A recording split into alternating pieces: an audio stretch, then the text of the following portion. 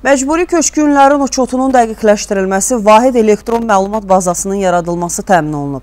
Repatriasiya prosesinin çevik və şəffaflıqla aparılmasına imkan verən avtomatlaşdırılmış sistem yaradılıb. Bu barədə qaçqınların və məcburi köçkünlərin işləri üzrə Dövlət Komitəsinin sədri Rövşən Rızayev məlumat verib. Qeyd edib ki, bu kateqoriyadan olan insanların problemlərinin həllinə xüsusi diqqət və həssaslıqla yanaşılıb. Monitorinqlərin davam etdirildiyini deyən komitə sədri bəzən negativ halların yaşandığını da təəssüflə qeyd edib.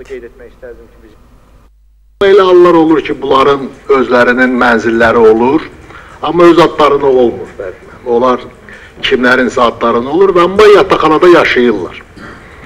Yataqxana da təbii ki, nə qədər insan varsa, ailə varsa, hamısı köçürülür yeni qəsəbəyə. Yeni qəsəbəyə köçəndən sonra bir müddət sonra biz görürük ki, həmin evlərdə yaşayış yoxdur.